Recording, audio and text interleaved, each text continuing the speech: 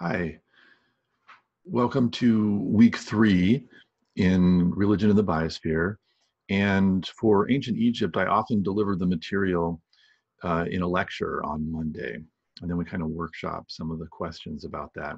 So I think what I'm going to do is uh, give kind of uh, a lecture on ancient Egypt, Egyptian religion, especially as it connects to the natural world.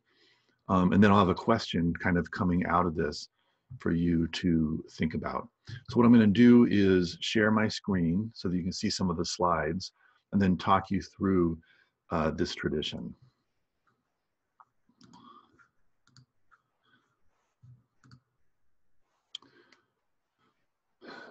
Okay, so and when we talk about ancient Egyptian religion, we're talking about a very long era of time, basically from what's called the Old Kingdom, uh, Egypt from about 2500 BC, and those centuries or the years when the pyramids, the Great Pyramids, were were built, and then we're talking about uh, stretching down to maybe the first century AD, the Roman era. We think of Cleopatra um, and uh, various stories uh, that reach very late down to um, the dawn of Christianity, basically. So we have about 2,500 years worth of history.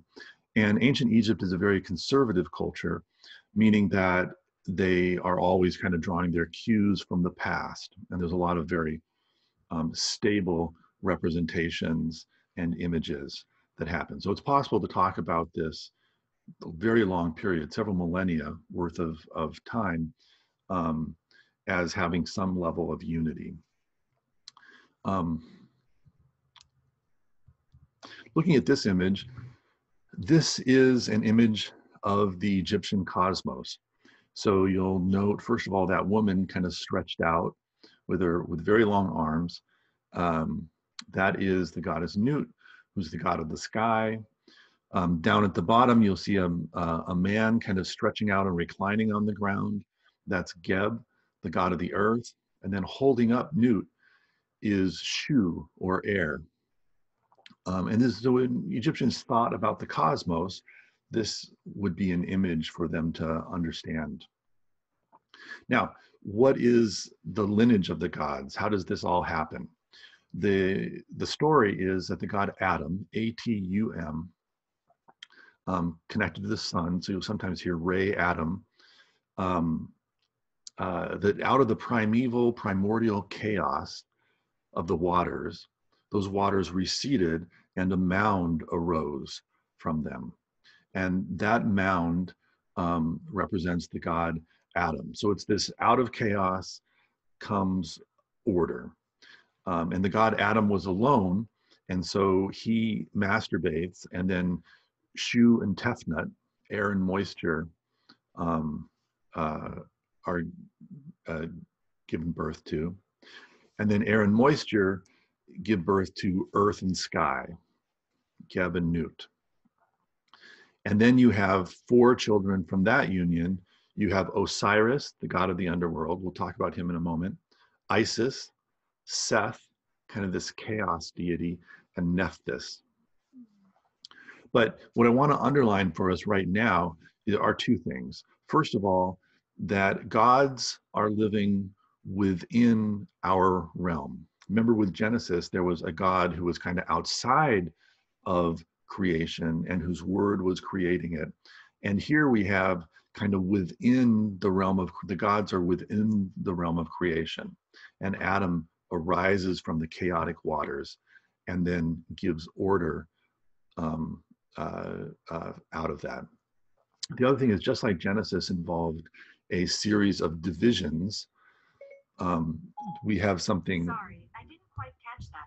We have something similar going on here in um, ancient Egypt with out of this primordial mound, then we have a division of air and moisture, water and air, uh, and then earth and sky. And the separations of these elements are what give rise to the cosmos. Um, Osiris. So Osiris is the god of the dead. He's often pictured like this. So you'll notice how his legs are together. This is a mummy form um, god because he's the god of the dead. He's holding the crook and the flail in his hands. These are signs of kingship. Um, and he's the you know the, the god of the dead, the the ruler of the dead. Um, uh, in addition, you can note, and his his hat is also connected to kingship. And then you'll note the the skin color. Here it's this green color, and other times you'll see it with a black color. And what's happening here is that he is the god of um, uh, of, of, of, of death, but also of, of the ground, of earth, of, um, of growth. And so the soil of Egypt has this lush, dark uh, color to it. And that is where life kind of springs from. And so Osiris is, is there connected to this kind of agricultural birth from the ground uh, everybody who dies. So on the left here, you'll see King Tut um, in this kind of famous gold mask.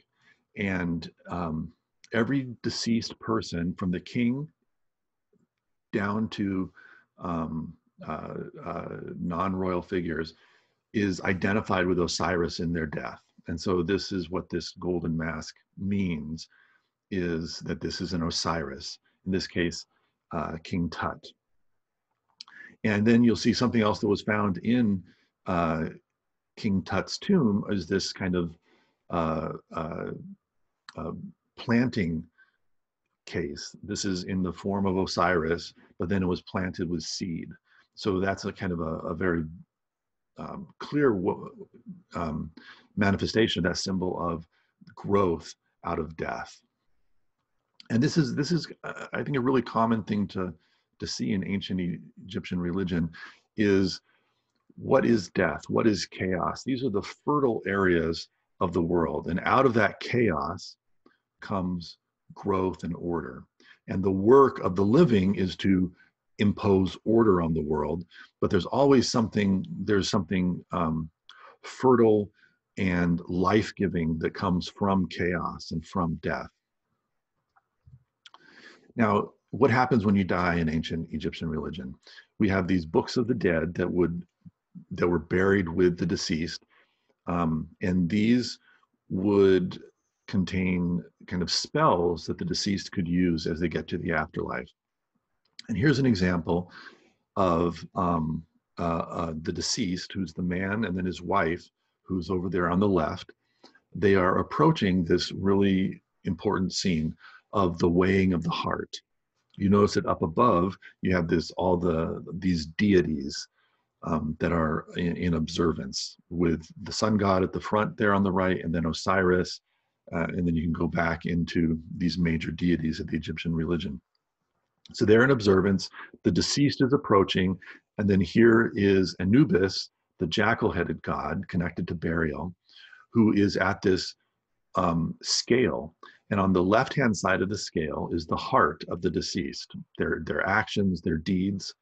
And then on the right is a feather, and that feather represents order, and that's Ma'at. And so the idea is have you upheld order in your personal morals, but also just in have you contributed to order in the world, is one way to say this.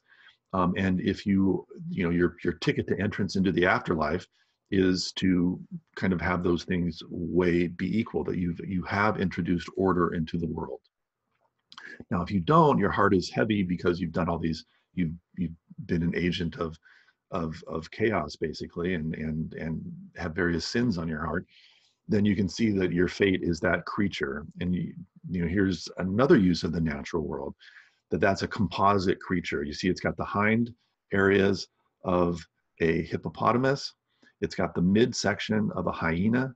It's got the the mane of a lion, and it's got the the mouth of a crocodile.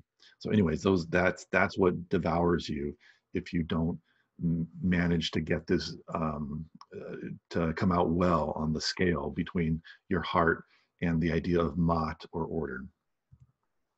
Now, we also other things happen in the Book of the Dead too. Like we get these scenes showing um, the burial process, and over on the right this isn't a great pyramid where a king would be buried, but you get a private burial when you can still see the kind of a pyramid shape at the top. Um, and then over on the right, you get a priest dressed up as Anubis, and then he, and then a coffin, which is stood up, and and there's various um, uh, uh, spells are being read over that coffin and the the deceased that's inside, uh, in order to give a good afterlife. then people are bringing burials. You can see another priest holding up a white piece of paper, reading probably the spells in the Book of the Dead. And then you get mourners coming after that, and then people bringing grave goods um, that will go into the grave, you know, things that were owned by the, the person. So here is the kind of the process of burial and death. Um, we explore this idea of order and chaos a little bit more. This is another uh, very beautiful box for storing things that was found in the the grave, that complete grave of King Tut. And just want to look at the illustrations here. So here at the front, you see um, war, right? That's one of the main jobs of the king is to bring order. And um, so here is the chariot holding the king, and then he's got his soldiers, his own men behind, and they are um, moving. You can um, that they're are going down south into Nubia, and and killing and taking over these this land. And uh, the the specific of the war isn't too important, but what I want to see is the way this is this box is kind of a drama between order and chaos. That there's Egypt and the forces of Egypt are here in nice um, uh, uh, uh, rows, and then the king is in the middle with his bow and his powerful chariot, and then his enemies are basically disordered, right? That's a chaos that has to be mastered by the forces of order. And Egypt is a force of order. Now, if we look at another part of this same box, you'll see this. Here's the same thing. There on the left, you see the kind of the forces of order, the Egyptian forces moving in. The king is there with the bow and arrow. And now it's not enemies of a foreign nation, but rather uh, the natural world that's being dominated. Um, and so here are gazelles and creatures of the desert that are being hunted by the king. And I think what's important here is to see that nature is again in this place of chaos and disorder. There's a kind of fecundity and growth that comes from that disorder, but it's a um, so life is in some ways dependent on that chaos, but then life is also about order and mastery of that chaos. Now, these we're going to kind of walk through different um, uh, illustrations in burial chambers in, in ancient Egypt. And this is going back to the Old Kingdom. And you see so many motifs drawn from the natural world. Um, so here, I'll take a closer look at a second, but this is, you can see that it's in kind of um, fragmentary state, but we're going to be entering into the marshland and you, you can look closely and it's very beautiful. You know i, I love walking through these ancient graves uh, ancient tombs and seeing these illustrations with beautiful representations of nature in these places you know and if, if you um, people who know the egyptian creatures and animals can you know these are all these are recognizable birds and creatures. There's a level of realism here when we're talking like 2200 bc that is pretty pretty amazing and remarkable now, the thing is, is, is that there's, there's these images of life in the Egyptian marshland, but then there's also the capturing of that life and the bringing of it. And so all of a sudden now you get these orders reinstated and now you have people bringing these cages and boxes of birds and these are going to be offerings that are being brought to the deceased um, here's another example of, of all these geese and wildfowl their necks being wrung uh, after they've been captured and they're again being brought as offerings to the deceased. Um, and i you know just want to underline again the connection that where do these things come from? These things egyptians are very aware these come from the natural order the disordered chaotic world of the marsh or of death. And then they're mastered and then they're brought to um, uh, made use of by the by the living Here's another image. This is the hippopotamus. And the hippopotamus is the ultimate order of denizen, I guess, of the marshland dangerous um, uh, violent and here it's being mastered by these harpooners on a boat and and there's a there's a danger that's in that chaotic world now eventually um, people are interested also you know these these images aren't just um, images on in tombs just out of curiosity and interest and for beauty's sake but they accomplish something magical. And so um, as time goes on they won't just be on walls but they'll also be models of these things buried just kind of jumbled up. Um, so the idea here is that there's some kind of magical purpose to these things as well. Um, the representation of nature but then also the ordering of it and the idea that that's something that will continue in the afterlife. Here's our harpooners again with a big fish, again, just models. Some more images of this. Now, um, we also, just like we saw in biophilia, there's a, you know, Egyptians had a very delicate sense of life and uh, the, and, and they valued having nature around them. And we see this in images of their homes. So this is a model that was buried probably because someone hoped to have this same kind of home in the afterlife. But you see that they had small orchards and then surrounding that, surrounding in the middle, a pool. Um, and then you can see the columns, the papyrus columns that are there for the entrance to a house. So they, you know, very sensitive to the natural world and surrounded themselves with it. Um, and this is uh, something that we, I think, would would very easily recognize. It's kind of an ideal living situation that we head towards ourself when we set up homes. Another use of the natural world is in amulets.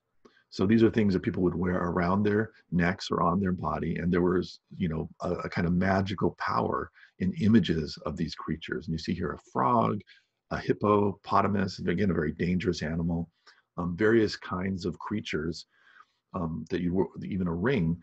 And these are, so the natural world has this kind of power lodged in it. Here's more. I like that middle one, the duck, but also a scorpion and a fish and a looks like a dog, an, uh, uh, an eagle or falcon, right? These are all there's this kind of power that's out there and uncontrolled that's in the natural world that can be then kind of brought in and introduced into culture. Right now we're moving into the New Kingdom, so we're like 1200 BC. We continue to have these marsh scenes. These are going to be a staple of Egyptian representation for a long time. Same kind of purpose. You see the deceased and his wife over on the left, an offering table in front of them, and then they're kind of looking out onto these scenes of um, uh, of, uh, of natural fecundity. So we've got a marsh scene, but if you look beneath the marsh scene, you'll see grapes, right? There's a harvesting of grapes, then a trampling on them, putting them into jars, and then pre ultimately presenting them to the deceased. Life moves from nature, the uncontrolled, the chaotic, into the controlled. And the same thing is happening with the marsh scene where we have men on small reed boats, and then they have throw sticks in their hands. And what they're doing is hunting the wildfowl. And here you can see over on the right the way one of their throw sticks is breaking the neck of one of those birds. Um, and that is the that is kind of the hunting that uh, that a, a high level Egyptian would take part in. See other things in there too. This is a different um, uh, tomb painting but you see these nests and the eggs and then the birds uh, newborn babies there's a very like i've said there's like there's a sensitivity to the natural world but it's always the natural world is um, uh, is is in these kind of more uncontrolled environments uh, where you see them where you see it you go into some tombs and a lot of it is lost but you can still see the man with the spear and so you know that what's missing was ultimately one of these large marsh scenes now, moving to the Book of the Dead, we're still in the New Kingdom, you know, say 1000 BC, and it's filled with images of nature. Uh, and this is a bird um, representing uh, the, the phoenix, the benben bird. And this is also a, uh, an, an, image of rebirth out of the um, for the dead. It is a little bit more uh, complicated to explain and everything like that. But kind of what I want us to want you to see is that the the symbolic world of the ancient Egyptians was just filled with natural creatures. And at the end of the Book of the Dead, you get this image. You see the the pyramid private tomb structure. Again, not a huge or you know kingly pyramid, but a small private burial with a pyramid on top. And that takes place in the Western desert. But then, like, what is death? What does it mean? Um, for the Egyptian, the death wasn't like a, a sterile time, but it was associated with the natural world. So you see these papyrus reeds growing up out of this spot. And then you have this desert cliff that you can see in the background, the striped desert cliff. And then you see the face, the head of a cow coming out of that. And that's the goddess Hathor, the god of love, also with these nature associations. So there's, um, there's, I invite you to kind of think of this as a circle, that there's order, there's the work of the living, which is order. But what are you ordering exactly? Well, you're ordering this, these, the, the life that's being thrown up and, and delivered to you by the chaotic world of death the ground and the marshes, that this is where life is ultimately stemming from. And all those things then are have to be ordered by those who are living. And that's this kind of eternal work of introducing Ma'at or order into the world. And I, you know, that's kind of a positive. It's it's positive. I would like to see it as a positive way to see the natural world, is that it is um, irrevocably linked to our experience of civilization and culture that we are dependent on death, on nature, on the uncontrolled, chaotic parts of life. And so I guess that's what I want you to reflect on for this Monday is the extent to which nature is something to be ordered or something to be left alone. This is, you know, also something you might think about with your with your nature journals, but is this kind of ancient view of the world something that we can incorporate or that's of interest to us as we come come to terms with how we value nature and see the world. Is this something that we see in American culture? Um, is is the natural world something a source of um, uh, of life, of, of of of energy and things, or is it is it something just to be controlled or forgotten about? How does this ancient Egyptian world differ from um, our concept uh, here in America and around the globe. All right, I will, um, all right, I'm back on screen here. I'm gonna end this lecture and, um, and uh, see what you have to say on Monday.